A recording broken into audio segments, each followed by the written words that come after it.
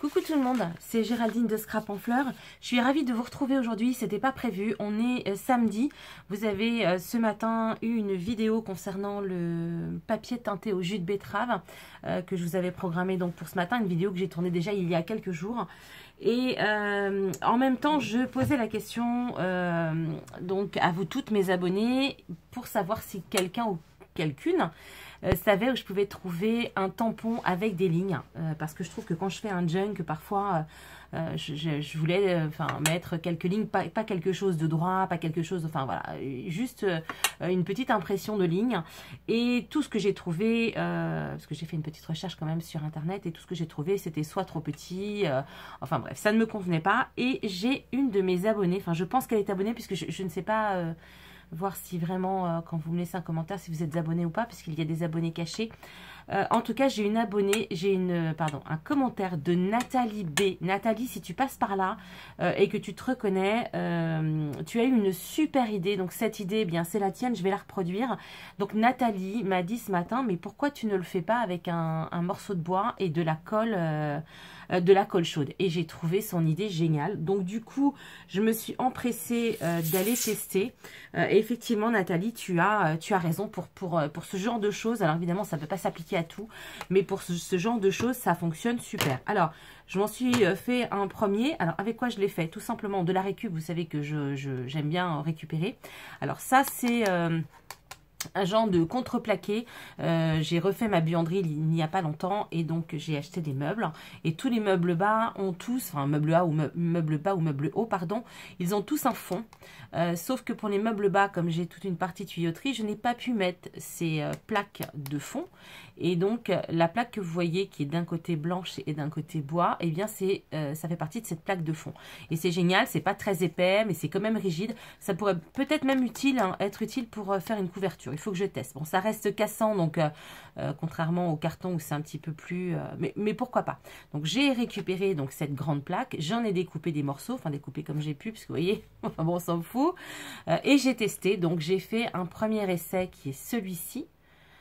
Donc évidemment, ce n'est pas parfait. Alors moi, j'ai la chance d'avoir ce, euh, alors chance ou pas, mais je le trouve très bien. J'en ai un tout petit basique. Et puis j'ai celui-là que j'avais acheté euh, chez Lidl il y a quelques temps. L'avantage, c'est que j'ai un embout très très fin. Donc ça, vraiment, c'est super pour ça. Donc j'ai fait ce premier-là. Et ce premier-là, donc, ça nous donne, euh, ça nous donne, voilà, par exemple, ici, ces lignes. Donc là, c'est quand on tamponne sur du dur. Et là, c'est quand on tamponne sur de la, de la mousse. Vous savez que la mousse, c'est toujours idéal pour tamponner. Donc ça encore, c'est de la récup. Donc voilà, tamponnage sur du dur sur ma plaque. Et là, c'est tamponnage sur cette partie. Euh. Donc franchement, je trouvais que pour un junk, c'était tout à fait le résultat. Alors évidemment, c'est pas forcément la bonne couleur. Mais en tout cas, c'est tout à fait le résultat que j'attendais. Pour le coup, donc j'en ai fait un euh, plutôt euh, large. Voilà, et on va en refaire un ensemble. Euh, donc, euh, je l'ai déjà euh, préparé avec des lignes encore plus espacées en fait. Et puis après, je me suis dit que ben, ça marchait avec les lignes. Alors évidemment, pour un, dessin très compliqué, ça va pas être simple parce que la colle chaude reste quand même difficile à, manier. Par contre, j'avais une étiquette papier qui avait cette forme et donc je m'en suis fait un. Et, bah, ce que j'adore aussi, c'est qu'encore une fois, eh bien, ce n'est pas parfait. Mais c'est franchement euh, tout à fait ce que je recherche. Donc Nathalie, vraiment, euh, ton idée, elle est, enfin en tout cas pour moi, elle est super. Donc n'hésitez pas à me laisser en commentaire donc euh, ce que vous avez pensé de l'idée de Nathalie. parce que je trouve que vraiment c'est super. Nathalie n'a pas de n'a pas de chaîne, mais en tout cas laissez-moi les commentaires et puis j'essaierai de lui de lui envoyer. Je, ne sais pas comment on fait, mais je trouverai bien. Donc si vous voulez bien, eh bien on va faire ça avec euh, avec ce, morceau-là que j'ai déjà préparé, donc j'ai déjà ligné. Mais bien évidemment, ensuite, on peut faire euh, bien tout ce qu'on veut. Dès l'instant où vous avez un dessin qui n'est pas très compliqué, bah, vous pouvez tout, à fait le reproduire. Alors moi, j'ai choisi ça parce que c'est euh, rigide, que c'est pas très épais. J'ai essayé de le tout à l'heure de, le doubler. vous voyez, celui-ci, c'était, je l'avais collé sur celui-là. Le seul problème, c'est que ça ne tient pas. Mais bon, euh, après tout, d'une seule, euh, c'est pas très épais, mais, mais, ça peut être bien aussi. Enfin bon, bref, en attendant, ça me convient.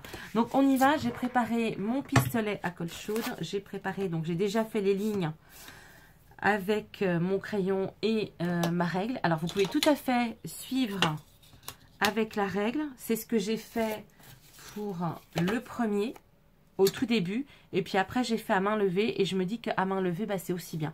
Donc, je vais même pas utiliser euh, ma règle. Je vais directement faire ça à main levée. Alors, juste un petit truc. Je suis pas sûre que dans le temps, ça dure, euh, ça dure des, années. Mais, mais c'est pas grave. Moi, c'est pas un tampon que je vais utiliser non plus tous les jours.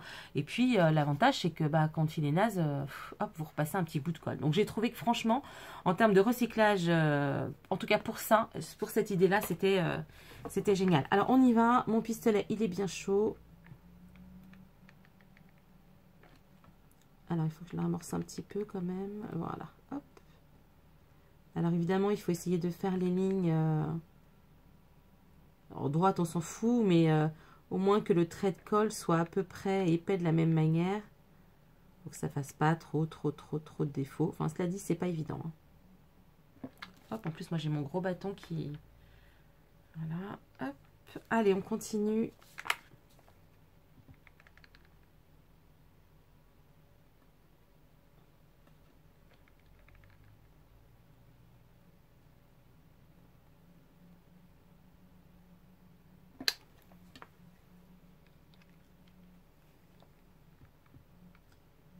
Alors moi c'est un petit peu compliqué parce qu'avec mon bras je peux pas rester trop euh, le bras en l'air et là je, je vous cache pas que bon c'est pas la meilleure posture pour moi, mais bon, c'est pas grave.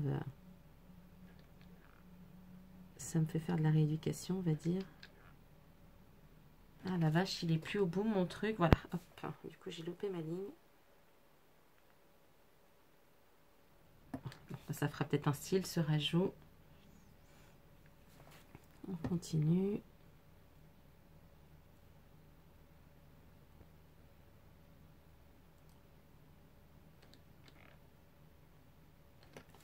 Ah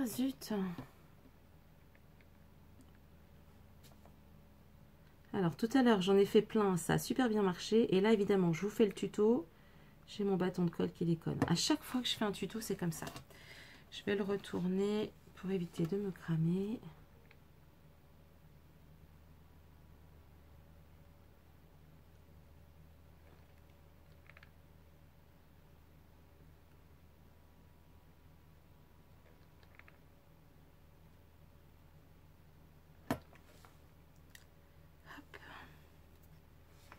Et on termine.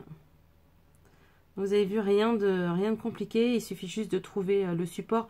Mais euh, vous pouvez même euh, faire ça avec de la cartonnette épaisse ou même de la cartonnette de récup. Je pense que ça peut le faire aussi. Voilà. On va laisser juste refroidir quelques instants. Je prépare un papier. J'ai pas de papier celui-là, il est déjà bien. Euh, on va prendre ça. Hop. Alors, est-ce que c'est bien sec? Ah, Évidemment, ça ne l'était pas. ah, je vous jure, la nouille. Alors, attendez. Hop, en direct, j'enlève. Ah non, mais je vous dis que je suis la reine des boulettes. Hein. Je suis la reine des boulettes. Hein. Hop, on va recommencer cette dernière ligne.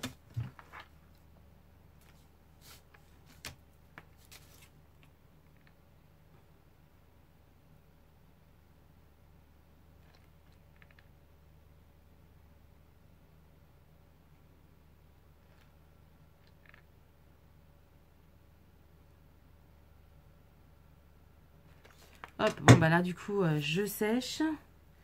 Donc je vous remontre en attendant ce que ça a donné. vous voyez c'est sympa. Si j'avais d'ailleurs un, morceau de papier blanc. Ah j'en ai un, ce sera mieux. En plus c'est la, la épaisse, ce sera plus facile. Alors. Je vais attendre un petit peu, je vais pas refaire la même boulette. Hein. Je vais essayer avec de la vintage. Alors, euh, même pas celle-là, c'est... Oui, mais ça, c'est la Distressing. Voilà, c'est à peu près bon. Allez, c'est parti. On va essayer celle-ci.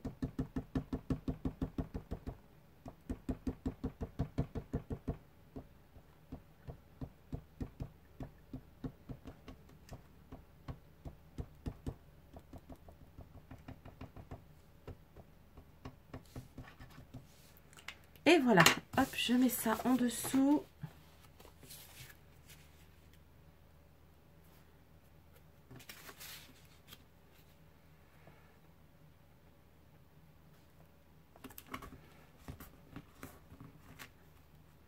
Et voici, regardez ce que ça donne. Alors évidemment, il y a plein de défauts, mais je trouve que justement, c'est euh, ce qui fait le, charme euh, de tout ça. Je réancre, je vais terminer euh, le bas. Et franchement, écoutez, pour 3 francs 6 sous, quand on a besoin de quelque chose rapidement, franchement, je n'aurais pas pensé à ça. Donc, euh, Nathalie, si tu passes par là, merci à toi. Tu as solutionné mon problème. Voilà, c'est ça que j'aime sur YouTube, c'est que, eh bien, il y a de l'échange. Et, euh, ça, je trouve ça vraiment super. Donc, dites-moi en commentaire si vous avez aimé. N'hésitez pas à, le tester hein, de votre côté. Et puis, euh, et puis bah, je vous dis à très vite. Bye